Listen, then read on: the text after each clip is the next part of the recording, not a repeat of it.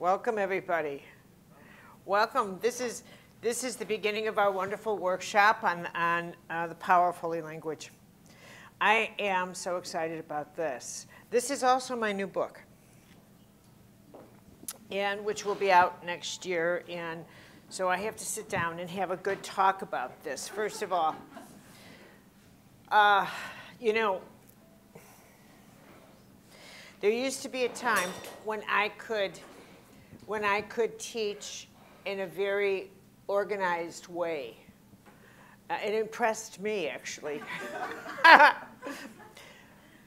but now there's so much that tends to come through me. Hello, good evening.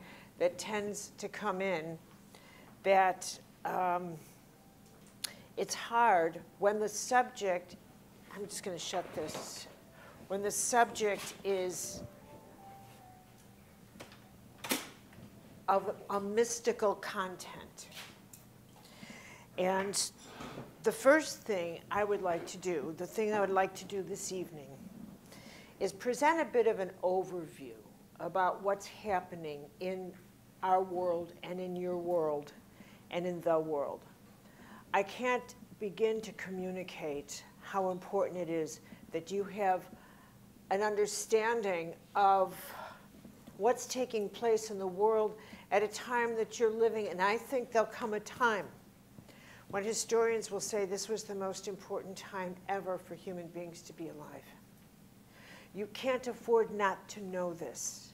You can't afford not to understand what's happening inside of you and to, to maybe recognize signals in you that perhaps you have mistaken for depression, that are in fact the, the way the soul speaks, and you don't know that. Because no one's ever taught you that. Nobody's ever taught you that that is the way the soul talks to you. What I know is that we do not know ourselves very well at all.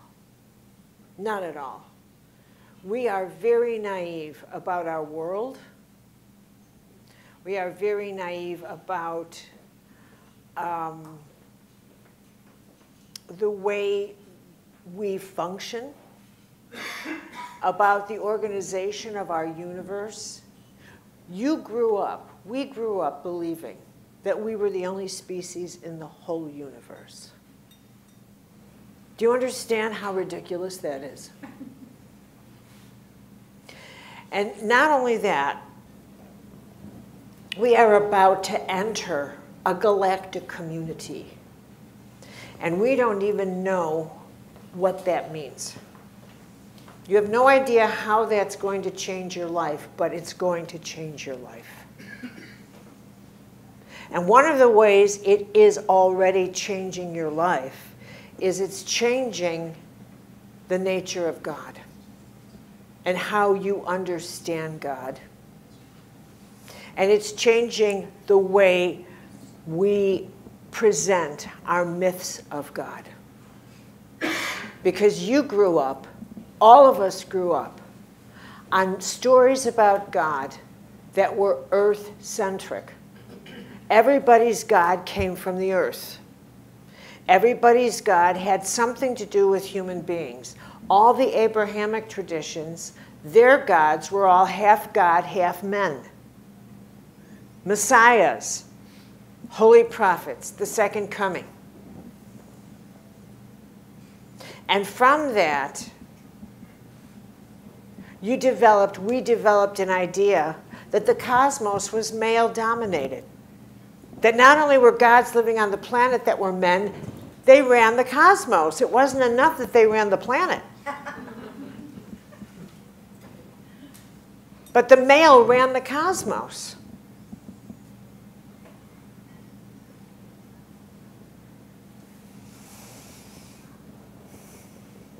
We have so much to unlearn that has been programmed in us.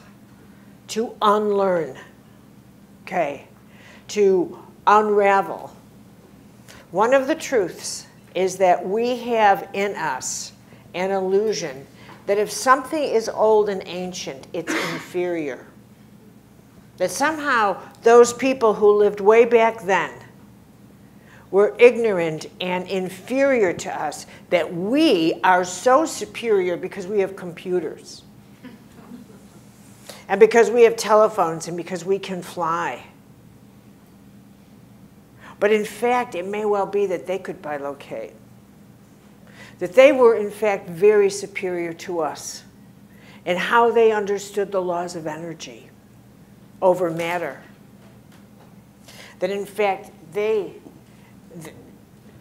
they, I'm not sure if that's not what one of our students, if you'll excuse me for one minute, I just want to, I don't know if this is locked or, are you? It's okay.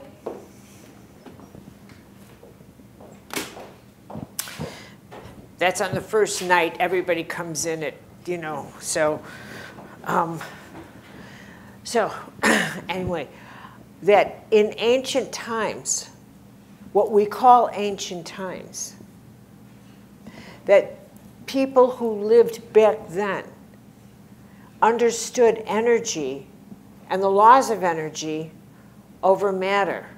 And that through the centuries, what happened was people became matterized, densified. They went from living in a world of mist to becoming ice, dense. And so the laws of the universe, excuse me, one more time. Hello? So the laws of the universe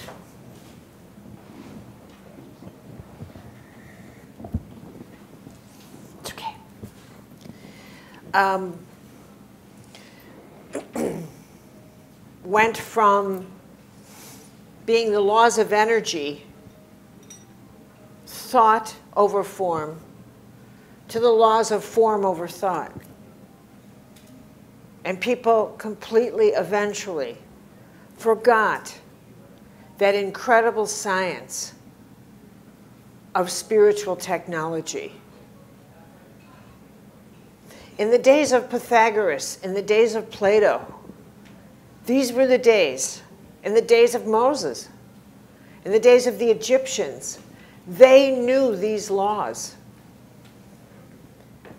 You know, we look back and think, how did they move those stones at Stonehenge? How did they, and we think they must have had a lot of slaves that pulled these rocks because we use logic. We use logic, the logic we have today, because we are not accustomed to having miraculous imagination, spiritual imagination.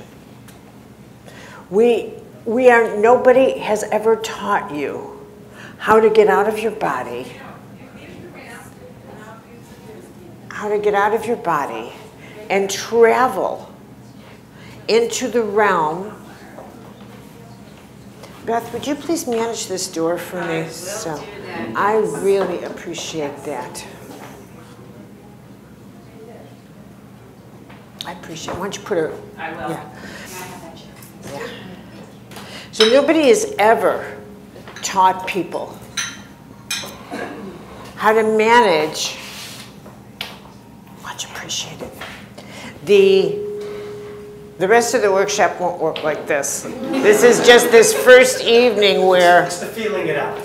It's.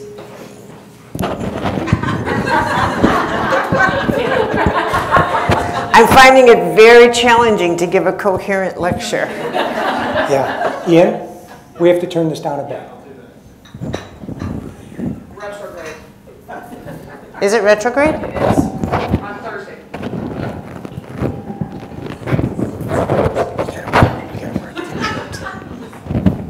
This is insane. Do you want me to go change my No, no, clothes? It's okay. Yeah. Okay. Now am I good? You're good. Okay, I have to get myself. I feel like I'm fragmented all over the room. Just a second. Mm.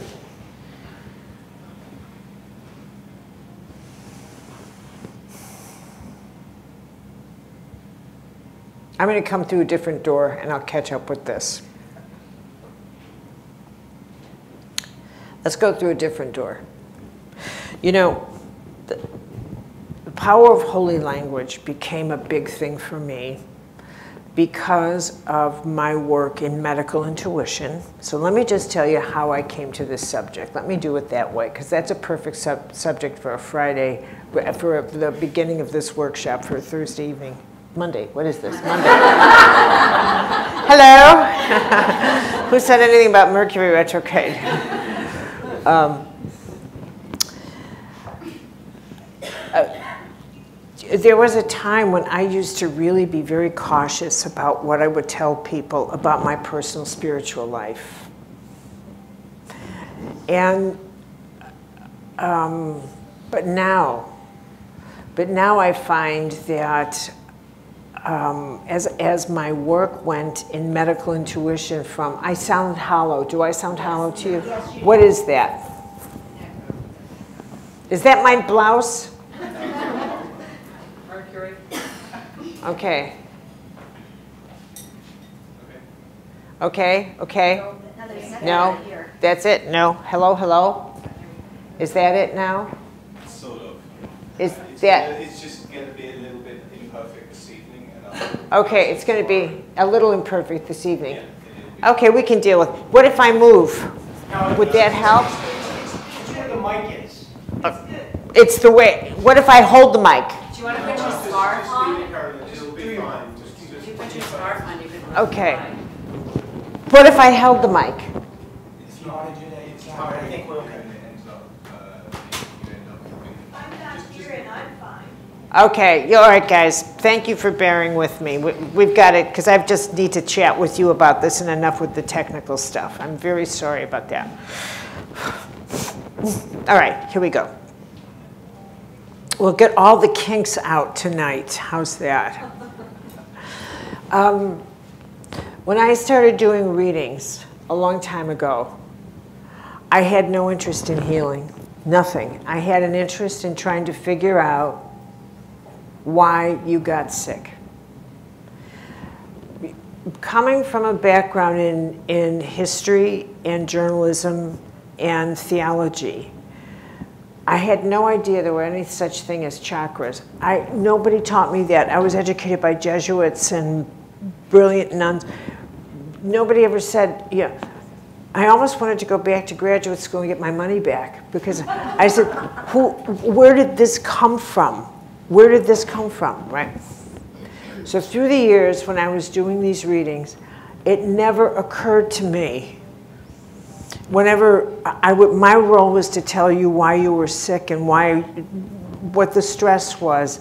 But I was learning along with every reading. I was like, wow, wow.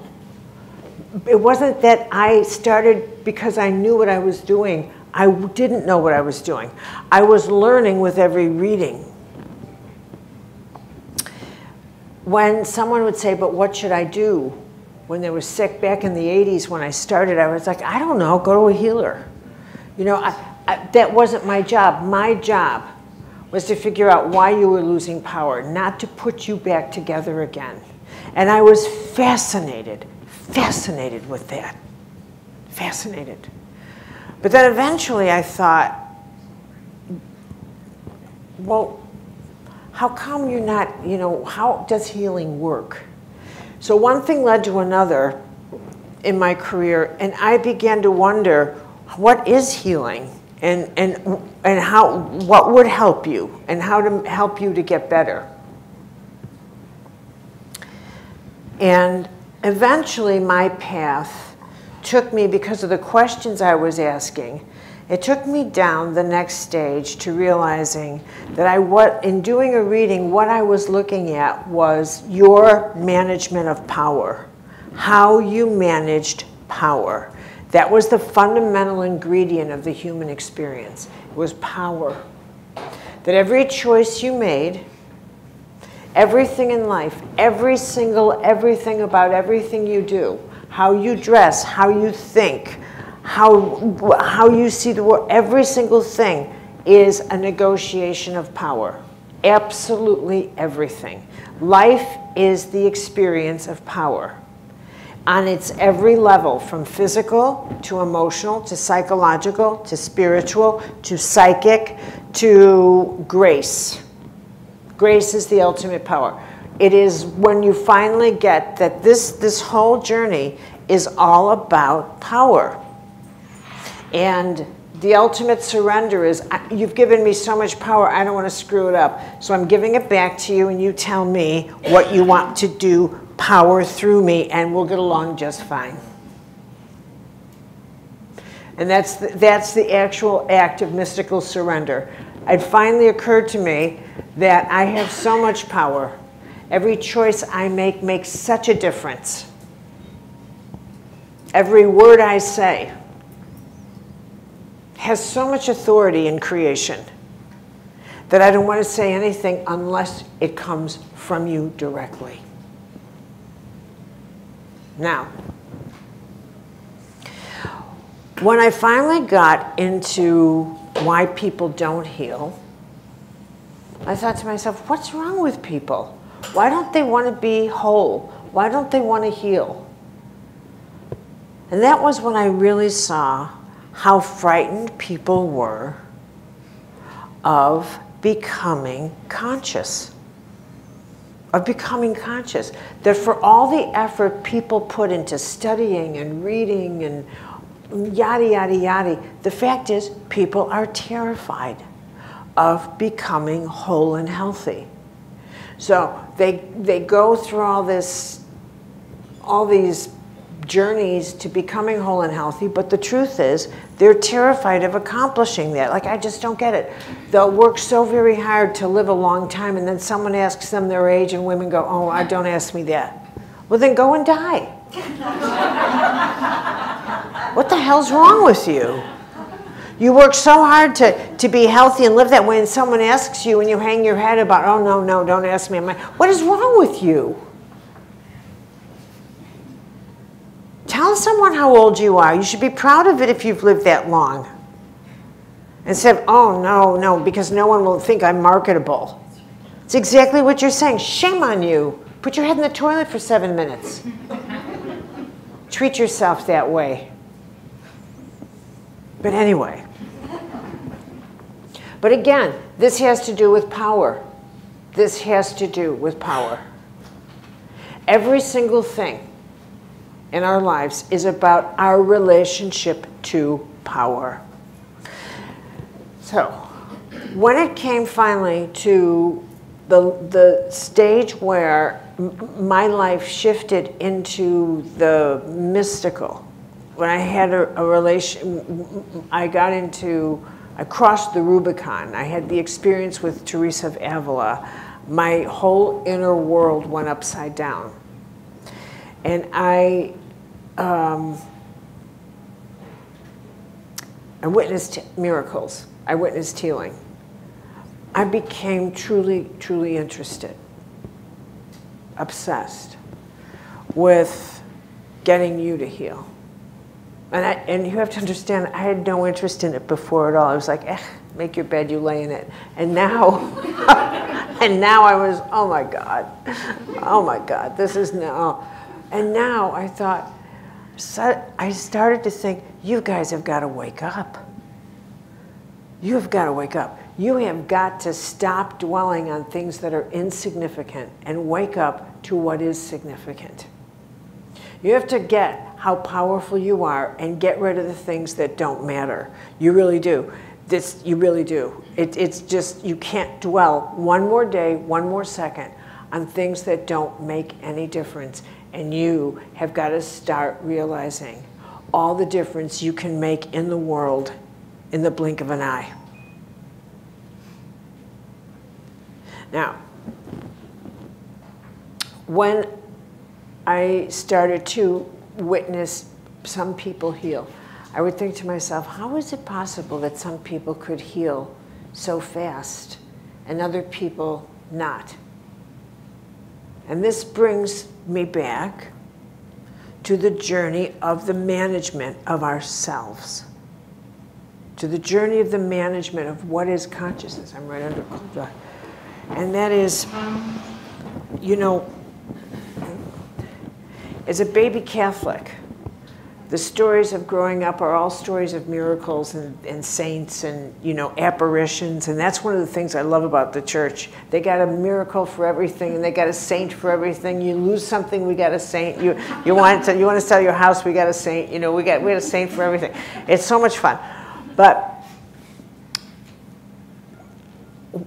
what is really true is that heaven is that close to you heaven is genuinely that close to you. That is, um, that's true. But um, one of the impressions I got as a child and a young person was that you had to really pray all the time and light a thousand candles. Your house had to look like the burning of Rome in order to heal, and maybe you had to cross the street on your knees a thousand times. God knows what, right? So I, I had the impression that miracles were rare, but they happened. But they happened. And then the day that I started on my book tour for entering the castle, it was the very, very day, the very day of that book tour. Um, and Entering the Castle was my book with Teresa of Avila about her work. I was in my hotel room, and I'm getting ready to go out and speak. And I hear, you know, newscasters, they say, you know, do, do, do ducks really, you know, dance and do elephants really fly? Stay with us. And, and they, they do those taglines so you don't change the channel because they're so appalling. But this, I, I was in, my, in the bathroom and I was, uh, you know, puttering around and I hear her say, do miracles really happen? Well, stay with us. And, da, da, da. and I, so I go out there and I'm sitting on the edge of my bed and here the story was about a miracle that took place on the college campus that I went to, my college, the Woods in, in, in Terre Haute, Indiana. And in fact, it was declared a miracle by Rome, and the woman, the nun who founded the community, has since been canonized the eighth American saint because of that miracle. And so they told the story of that miracle, and here's this reporter sticking a microphone in the face of Sister Kevin, and she says, So, what exactly is a miracle? And Kevin looks at her and says, Oh, well, that's when God bends the laws of the universe just for you. And you could see that she wanted an answer that was, Oh, well, you have to have it. Nun was like, It happens all the time. God bends the laws of the universe all the time for people. And then this reporter says, and that's back to you now. because the answer was so accurate and so perfect when God bends the laws of the universe.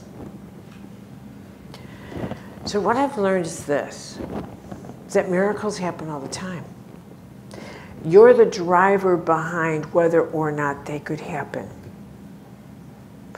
The challenge is whether or not you could handle it whether you could handle it. Because what I've learned is that most people need a lot of validation in their life. They need validation for everything for an idea they have, for an inner whisper, for whether or not their lunch is any good. You really like it? Do you really like it? Mm. For every single thing every single minute. They need someone else from the outside world to tell them everything about them is okay. They need it 24 7. You're a lot of work, you take a lot of effort. But a miracle is something that cannot be validated. Not by anybody, but you. And in fact, what happens is that you face a tsunami of people that will tell you it never happened. Plus, people who'll be envious that in fact it did happen, but to you and not them. Why you? What's special about you? What's special about you? And you have no way to prove it, nothing. Because what's true about the inner life is you're on your own. You are totally on your own. There's nowhere to prove, validate, verify anything about the world behind your eyes. You're on your own. And so, if you indeed had a miracle and you were healed, it's a really good, there's a really good chance people are going to say you really weren't that sick. You really didn't have that cancer. It's a freak thing, something else. They'll look for another explanation for why and how you came to be healed. To try and find something. Because holy language and the way of the holy is just not in them. Just not in them. It's just not the way they think. Because everything is about what you can handle in your reality and the speed at which that happens. What I realized in my work, finally, and this is why I decided to spend so much time in this book, The Power of Holy Language Prayer, Grace, and Guidance, is because I realized in these last 70 years, ever since we entered the nuclear age, we have been undergoing the most profound change in the history of humanity. There's, there, it is impossible for us to actually measure how much we are different from the species of human beings who lived before the nuclear age. We are actually physically different. We're physically different. Our immune systems are different. But so is our psychic field. You have multiple senses. You now think, you live in the world behind your eye in a way the people before 1945 did. It would never occur to anybody before 1945 to say, I have to process this. I have to get in touch with myself. What are you talking about? Nobody prior to 1945 would say, I have a depression because I'm looking for the purpose and meaning in my life. And I can't find it, and I'm just, and that would be a reason for you to get to, to divorce and go on a walkabout. Do you understand? We are people on the inner plane now. We live on the inner plane. And the questions that you think about and you ask yourself so casually are not questions, they're prayers. They're actually prayers. They're mega, huge, big time prayers. When you say, I wonder for what reason I've been bored, who are you talking to? Who's going to answer that? Who do you think is going to answer that? You are invoking grace. You're invoking heaven. now, for these last many years,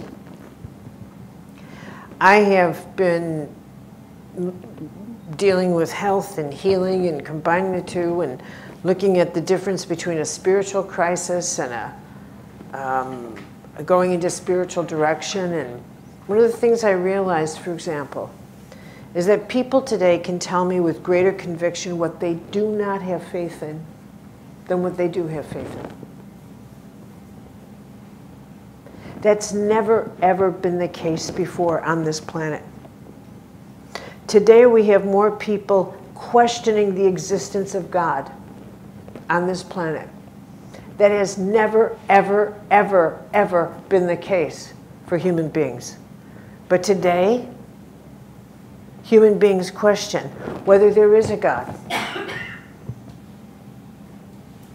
Today, human beings decide there's no evil, there's only good. Today, we, we human beings decide to restructure the whole cosmic field because of what suits us. Not because of the way it really is, but because we're so narcissistic that we think we can reorder the nature of nature itself because it doesn't suit us to have darkness. We only want light and angels. Do you understand? We've taken away certain vocabulary. We've decided there's no such thing as sin, just boo boos and unfortunates. What I realized is that because we've taken out the language of the soul, we've broken a way to have access to our inner life. We've compensated by going to therapy when we should be plunging into our spiritual self. We've turned our spiritual life into the journey of healing instead of the journey of truth. What I realize is that most people have an inadvertent relationship with darkness and they don't even realize it. And they are terrified of the light.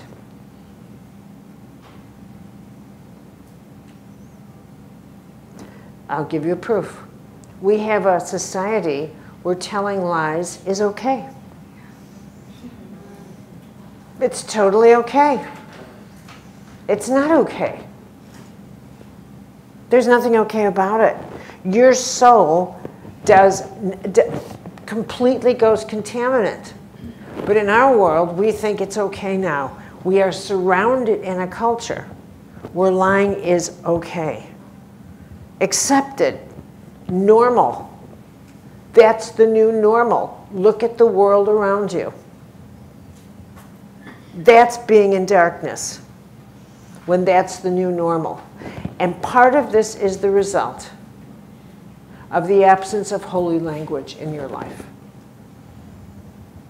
Believe me, it is the result of that.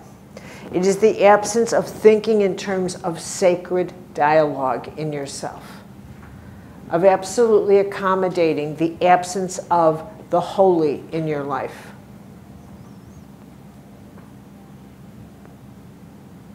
Okay? We threw out babies with bathwater. We decided, you know, it's okay. I can make my spiritual path on my own. Nobody does the spiritual path on their own. And at the same time, I'm going to hit a pause button and take you into the cosmos. At the same time, what's happening is that our myths of God, the familiar myths of God that we all grew up on in our own way, whatever, how many of you grew up in a traditional religion? Okay. How many of you grew up with nothing? There's no such thing as growing up with nothing. Something influenced you. Something filtered in. Science. Science. Do you have a Christmas? Do you ever have Christmas? Then something filtered in. Okay. Christmas came from. Hello? There you go. So there was a Christian something or other in your atmosphere. There you go. It came in one way or another. you know, the stories of Jesus, the stories of Buddha, the stories of all of these characters in the cosmos, how we know the story of God, the, the story of heaven, these wonderful stories are stories of how we, how people wanted to understand the power of God in relationship to us. How does God's power, like, do you want to write, you want to write prayers because you want to figure out if I say the right words, then I'll figure out how to get through to God. Every one of you has a superstition which we could call your micro theology, that you use in one way or another that you think helps you maneuver your version of God. I promise you, even, even you, the scientist, there's something you either will avoid saying, avoid doing, you knock on wood, you, whatever it is, you have your own little micro superstitious theology that you think helps you communicate a code to God. Agreed? Okay, agreed. And even though, is there any of here, is there anyone here where that is not true? See? Okay. Now, um, we can't help this. This is archetypal. We, we absolutely can't help it. It's, the, it's like primal in us. We absolutely can't help it. We will rub sticks together. We'll, we'll, we will find some, we'll put stones in the corner. We can't stop it because there's something in us that has to communicate with something greater than ourselves. We just have to. We absolutely have to. What makes this moment so, and let me finish this way. And what we have always loved about stories and myths of God is that we squeeze ourselves in them and they tell us how God talks to us and how we should talk to God. That once upon a time there was this God, and God said, I will come to me, come to me, little children, and I will take care of you and we think god that's wonderful god's this father and and and and and then there's mary and then there's this and there's yahweh and and and everything and this is how the heavens works and this works for me. But what's happening now and we can't stop it and we know it is that all those familiar stories are getting unplugged. And try as we may we can't bring ourselves to believe them in the way we once did. We can't bring ourselves to pass them on to our children in the way our parents or our grandparents passed them on to us. As much as we would love to pass them on and say, this is real, this is true, it's not coming out of our mouths, and what's worse is not coming in our hearts. And yet, the longing to believe in something is aching in our soul so great. And this is what make, is making us spiritually vulnerable. Because it's not that we don't believe, it's that what it is we believe in. We are between myths. We no longer, it's freezing in here. We are, we are between the myths of the gods of the old world and the ones and the, and, and the divine. We are being of the God, the divine that is emerging within what I call your bio spiritual ecological theology that I will explain to you this in the next few days.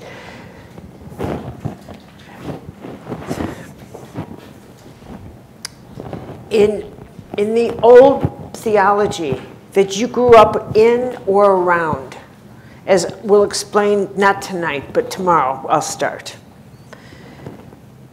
You were told about the laws God expected you to follow.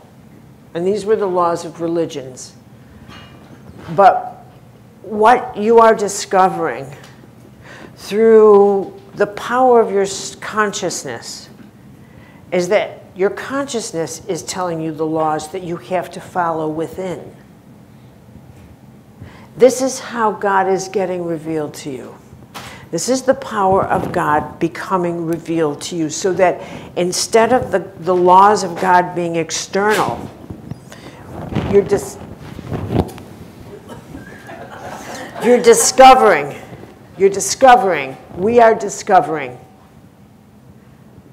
God in our blood and in our bones that God is the law of nature and the law of nature is within us and around us and that the law is conscious and that as above so below that all life breathes together. And that as we heal ourselves, we heal the planet. We are one and the same. And that this is an, imp, the nature of God is totally impersonal, but what makes this universe so holy and personal is prayer that somehow or other, the laws of heaven, the nature of God is totally impersonal. Gravity, we jump, we fall. It doesn't matter who you are, where you're from. But every prayer is heard and everything you do matters. And somehow all of our acts of creation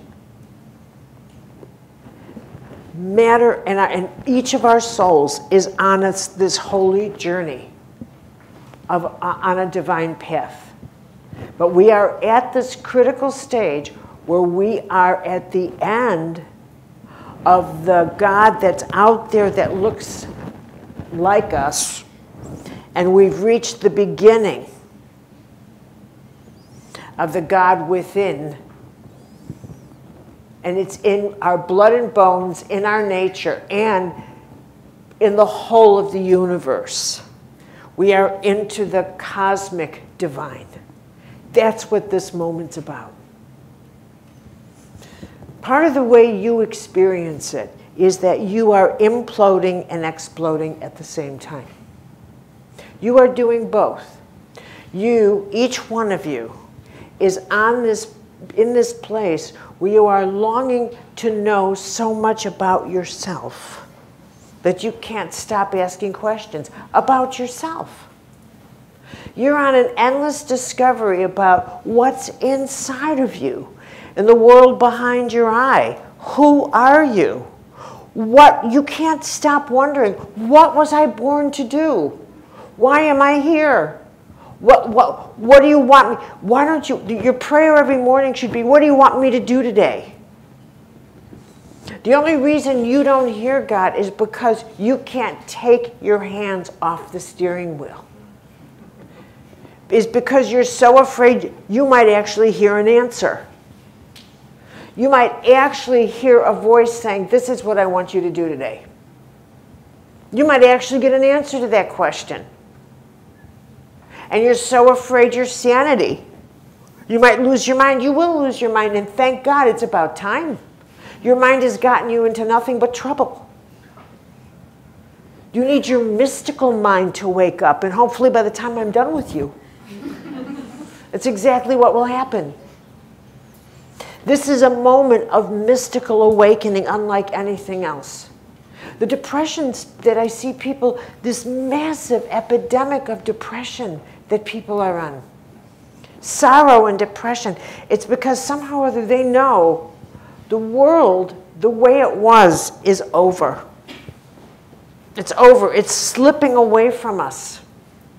It's just slipping away from us. And we are so uncertain. And, and what we do is because we are so used to being five sensory creatures, where we, we want to know where, what's going to happen next, where are we going, but you, we don't get that we are the engines of creation. We have to determine what will happen next.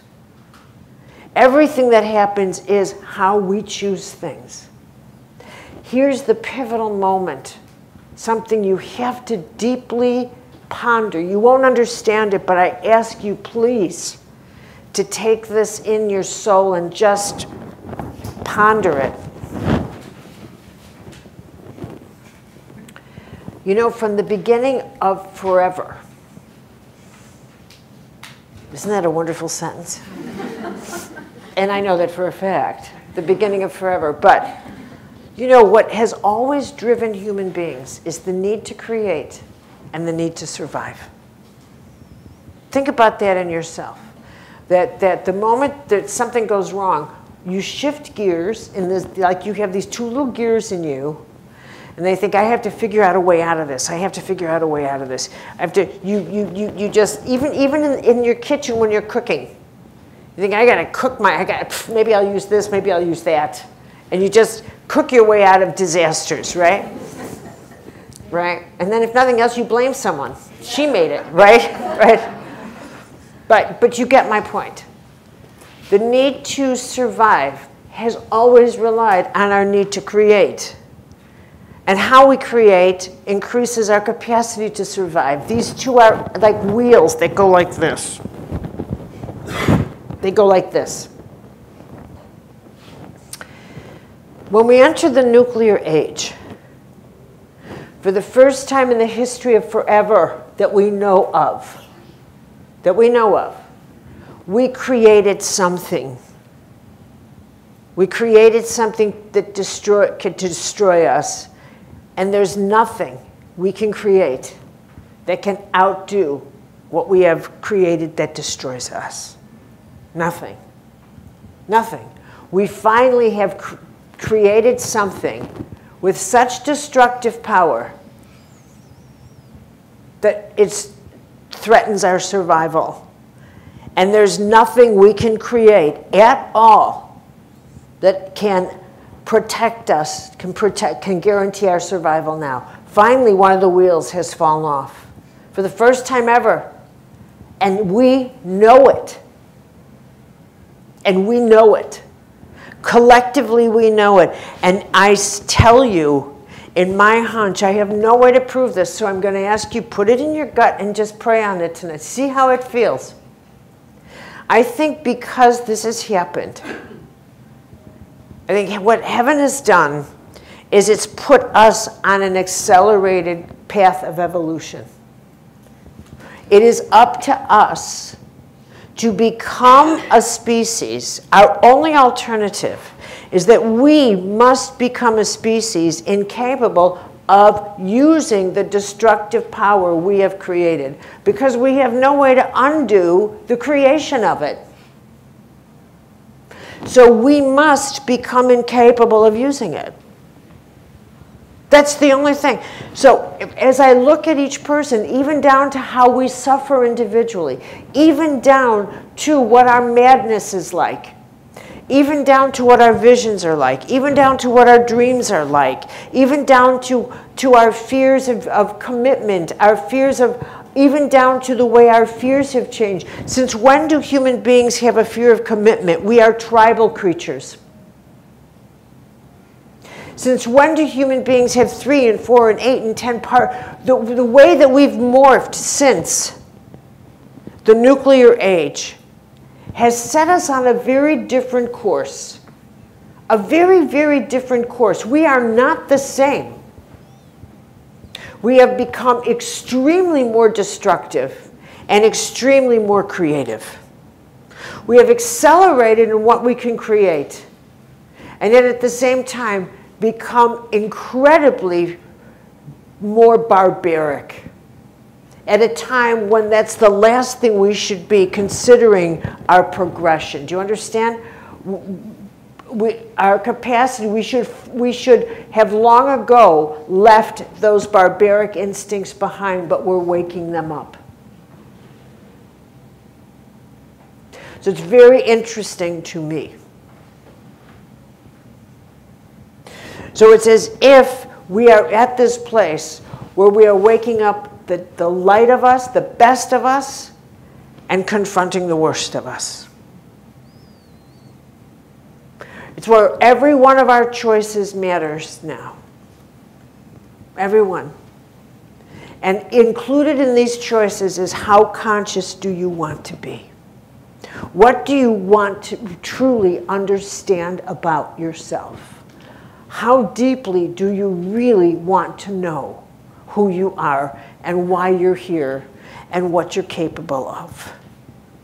That there are beings of light on this planet that, that, that are that we're not alone. That we're not alone. That that that that prayer is about you invoking the presence of grace and guides in your life. That part of everybody's journey now is reaching a place where you are able to say, Not my will, but thine, and you understand what that means. You have to understand what that means. That you're willing to say, okay, I, I had an agenda for my life, but now it's about me serving the whole, so I'll put that aside. And we'll talk about all of this tomorrow and the next day. But I cannot, I cannot help but believe that everybody who comes to me now in a workshop like this has some angel at his or her back. You don't find your way to me on your own. I don't believe that. I'm not teaching knitting. I'm, that's your role. But I, you understand? I'm, I'm, I'm, my, I'm in the business of setting a fire in your soul. I'm in the business of getting you going in your life in a way that you're not going, or getting you to become hooked, be, become plugged in, and to not doubt that you're plugged in. When I was younger, and when I was a little girl, I was always plugged into the other side. You know, when I hear people tell stories like, and I thought I was crazy. You want to know something? I never, I never thought I was crazy, not for one second. I thought you were. and that wasn't arrogance. It wasn't arrogance. It was that I always wondered, how do you get through life so frightened? How in the world do you leave your front door so filled with fear? Because it never occurred to me. It never occurred to me, ever ever. You know, when, when I was um, in my early 40s, I, I had seizure. I had some seizures, grand mal seizures, and I uh, and that's terrifying. That's terrifying. Big, huge, not little. Big, huge. And one time I was uh, in my kitchen, and I had uh, my counter has a square head a square edge like this, and it had tile, and then it had a hard tile floor, and I had a chair like this at the counter, you know, the classic little upkin. And I'm on a chair exactly like that. And I felt a grand mal coming in. And you, it's like a black thing starts, and you begin to go out. And I looked to see if I could make it to my couch, and I knew I wasn't going to. And if this chair goes back, I'm going to break my neck. I'm going to break my neck. And that would be it. That would be it. And then I heard the voice of my guide Let go, I've got you. It's okay. Let go, I've got you. I just went, you know what? I woke up, that chair was 10 feet away, and I was lying on the tile, not a bump in my head. Not a bump on my head. And it didn't occur to me that that could not happen. Didn't occur to me. Never occurred to me that didn't happen. It couldn't happen. Never. I tell you how incredible, how extreme this is with me. Sometimes the extreme of insanity. Um, so I had, I had a bear in my. Uh, do you know how honey comes in a bear? The plastic bear. So I had it in my cabinet, and I had a friend staying with me for months and months and months, and she was filling the bear, but I didn't know that. I thought, well, of course. and she, she's, and I said to her, very casual, I said, it's the most incredible beer. and her jaw went, she went, are you crazy? And I was, no, what's it? And she said, I, what the? And, and it, if that had been, it wouldn't have even struck me as being odd. Do you understand? That's how. She said, what the? And, you know, and that's where I live. That's how, yeah, that's what I have to tell you. That's really, it doesn't even occur to me that that couldn't happen. I know. Doesn't even occur to me that that can happen. That's how I think heaven works. Why wouldn't it? But it doesn't even occur to me. And if it had been, it thinks, well, yeah. Well, yeah. I know, it's crazy, huh? But it's not crazy. I think heaven is that close because that has always been my experience. And if somehow I can chip away for you the doubt that you think that somehow it's located way up there and that part of what is, I think, a blockage is that people think that a proof of God is that things should go smoothly in life. No, no, no, no, no, no, no, no. That has nothing to do. You have to understand how life is. Life is pain and death and birth and this. There's no, it's always going to be that. So that has nothing to do with it. It's got nothing to do with you thinking that God's on your side and therefore, you know, bad things will stop happening to you.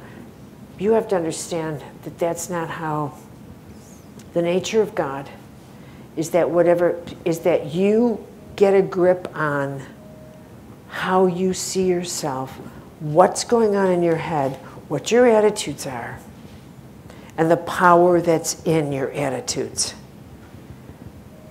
And that the way heaven works is like your prayers, like, get a hold of me, God, because I need some grace and I need it fast because I am like really angry right now and I can do some damage. And that's how you pray. Because you finally get a hold of the truth that you are power. And you start praying about managing your power. Not having the world change around you, but helping you change the world for the best through you. You get it? And then you start seeing allies and angels showing up everywhere because now you got the rules. Do you have any questions? No, just a few, eh? What, what's up? Oh, what's up? I'll repeat. I want to tell you about what you just said about. Whoa, whoa, whoa, whoa, whoa. Okay.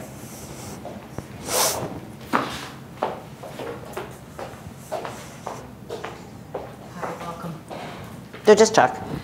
I just want to tell you about what you said about chipping away at, at um, your own perception of how things can happen. Um, because I want to share it with the group on Leslie. And I was in Colorado and on the. Is your mic working? No. I didn't want to hear anything. Is it on? Yeah. Yeah. All right, never mind. Just speak up. Continue? So Wait, I'll, On the, on the Friday evening, on the Friday evening, there was a talk, and then um, I was riding my bike, and I met some people in the, lo- uh, person in the lobby who was staying at the same hotel, who offered me a ride the next day. And when I got in the car, there were three of us, and as we drove to your, the next day, the Saturday morning, we all shared stories of how we'd had a death experience. And it was like, did you eat hummus last night? I drowned when I was a kid. And a woman from Sydney had flown in, had a stroke. I had a fentanyl overdose in the hospital in emergency by an error in medicine. And, um, and we talked about it like we ate hummus last night. It was no big deal. And I didn't realize till I left and got home. Go, was every, does everybody who goes live to Caroline Myss have had a death experience? I only deal in reborns, right? I know. Isn't that funny? Isn't that funny? I know, I know. But think about how your conversations are these days. Within minutes, you find out if someone, you know, has had a near-death experience or this or that, right? Again, think about it. From before World War II and now in nuclear consciousness, the day that my father, this World War II Marine, if you think he sat around talking to people about whoever said to my mother, you know, I got, I got to go and get a past life, you know. It, no, but look at what's normal for you. Look at what's absolutely normal for you. Look at what's in your head that's totally normal for you. Past lives, future lives, up this, that, and the other. You know, it, you could have a near-death experience and you think, oh man, I saw this tunnel and, and I, I, I, I know people and it's absolutely normal to go have, go meet with a medium and talk to people on the other side and that's ordinary. So your worlds are becoming incredibly porous. Porous. And it has to be, you have to, you really, really have to understand how important it is that you have a vocabulary, that you have holy language in you. That you, you be able to recognize what a spiritual crisis is versus a depression. That you don't call something um, uh, a depression when in fact your soul is in crisis. You have to be able to recognize. You have to have the right vocabulary. You have to be able to speak soul fluently these days. And not within a religious context. You have to transcend the way people used to think that we're talking religion. Religion is, is evaporating. And what we have to pull from religion are the mystical vocabulary that, that needs to sustain us as we move into the next centuries. That there are certain words that you have to understand the significance of the sacraments and your chakras. These are not rituals that belong to the church. Those are rituals that belong to the soul that the church recognized. To understand what these were, and that when the soul does not have ritual, the soul goes into crisis. And it's been treated with drugs instead of ritual. So all of this is stuff will is this is what you need to recognize. Yes.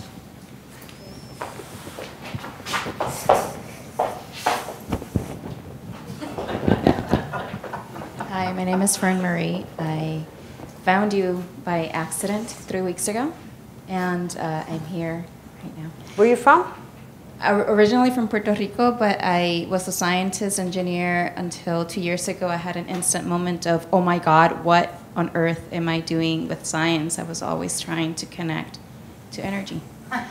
But anyway, um, led me to a physics degree, so it's nice. So as a scientist, I understand neuroscience really well. I understand that our minds, our behaviors, the pineal gland, sorry, the, the um, basal ganglia is the one uh, uh, organ that, or gland that allows you to create habits very, very, very well. And what I've noticed is, as I've discovered my own power, is that I have to go back and reprogram a lot of habits, a lot of belief systems. Even having power and being afraid of my own power has to do with my memory of other people in power that have done awful things. And my being afraid of, will I do those things? And I don't want to do those things, so therefore I don't want my own power. So, my question to you is how much, how do you balance having to go back and reprogram everything you've learned for 30, 40, 50, 60, 70 years versus going towards something that automatically removes that? Do you have to go through the pain of rewiring everything you've learned, or have you found a shortcut? well, it's a brilliant, sophisticated, wonderful question. And this is what I think. I think you can take a shortcut. I think that's what forgiveness and transition is all about. I think that when a person, um, if we choose, if we're somebody who thinks, I, uh, here's the brilliance of Buddha and Jesus, and they're teaching that there's nothing back there. Stop going backwards. And one of the great teachings of both of these masters is the, the teaching of it's all illusion. And that's something that we'll focus on, but here's the essence of it. The, we, one of the great challenges for us is to get that, in fact, all those things we've been taught um, or the things we've experienced are illusion now that's hard to grasp because if you've been raped or you've been beaten up, that's no illusion. That is no illusion. But what the illusion is, is that you're the only one that it's ever happened to. And that somehow or other, by going back again and again and again and again, you can make the rape not have happened. Or you can make it fair or you can somehow or other get justice in enough way to finally satisfy your hatred or finally satisfy your resentment. That's the illusion. There isn't enough going back in the world. You can't tell your story enough for vengeance. Vengeance, there is not enough. You could tell your story a million times, and vengeance will say, I wanted a million and one, because there is no end to it. Finally, Jesus says that's what the illusion is. You think you want you think you think going and shooting someone and going and rubbing their face is going to make you feel better. That's the illusion. That's the illusion. That you'll find fairness on this earth, that you'll make anything fair. There's nothing that's fair here and it never will be. Get that. That's what Buddha says. This is all an illusion. You think you're down here to make things work? You're crazy. You're down here to deal with the fact that nothing will ever work. That's the truth. But habits are not an illusion. No, no, but habits are an illusion. Mm-hmm. Yes. They're repetitive. They're so re- they're so programmed in there, right? No. A program, anything can be reprogrammed. Well, that's the question. And then all you have to do is decide, I, I have to reprogram this. I'm stronger than this. What wins, the habit or me? No, of course, absolutely. Mm-hmm. And it's just like every single little thing. So you talk about earning power and gaining your power back. Mm-hmm. I do nothing else but that in every single instant. Even like the way that you look at someone, it's like, oh, are you going to Right. allow a habit to Right. jump in here? It's Exactly. everything. I every know, isn't it awful? So But is there a break? yeah. yes, there is. And then you just decide, I've won. At some point, there comes the second when you're not playing the game. When you, do, when you realize five seconds went by and I wasn't even conscious of it. And then pretty soon it'll be 30 seconds. And you realize you've had a shift of consciousness and you're leaving that world behind. Trust me. So you just keep at it. Yeah.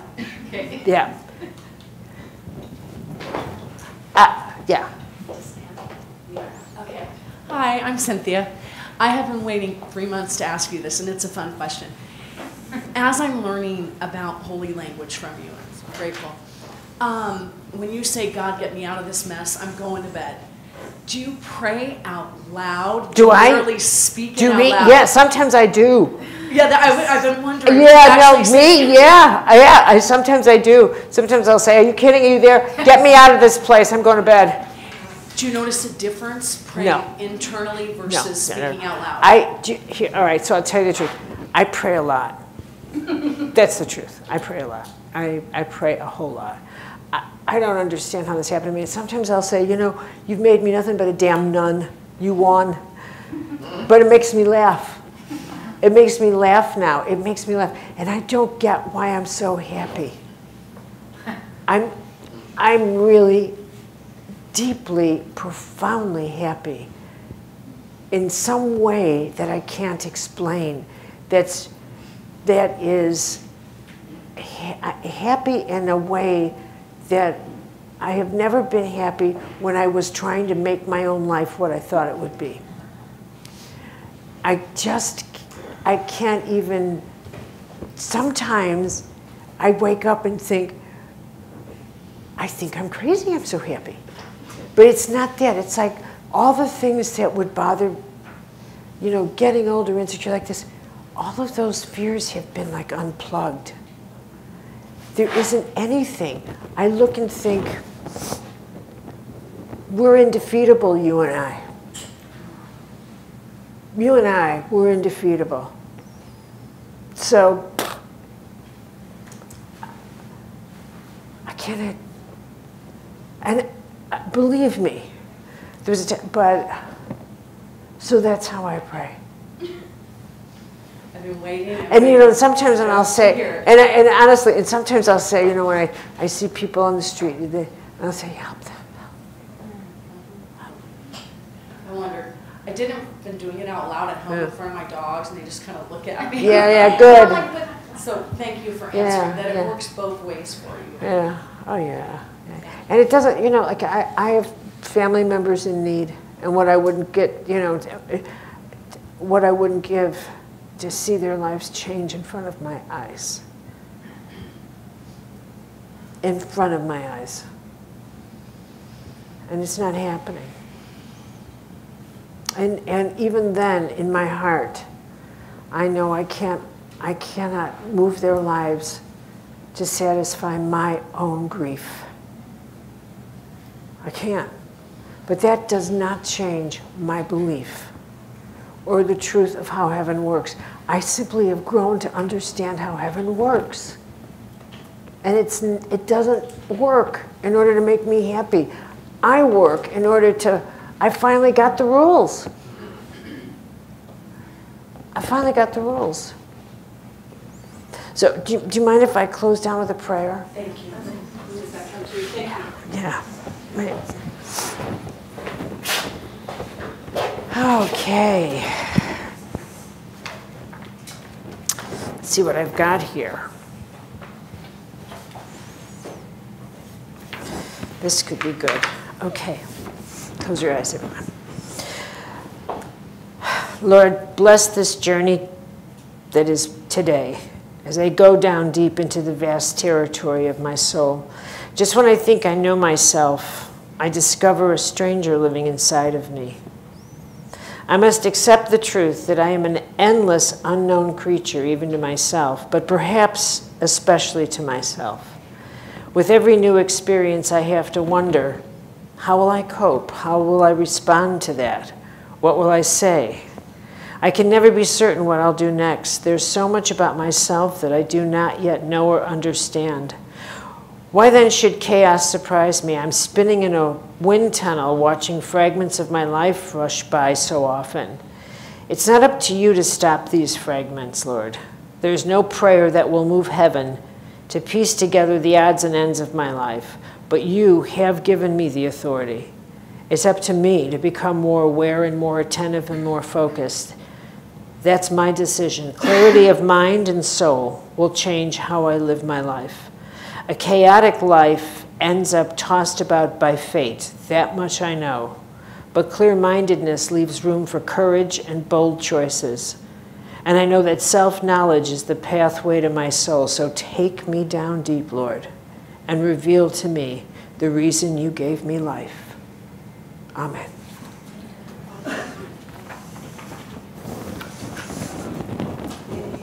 Thanks for being here. We're going to have a good time.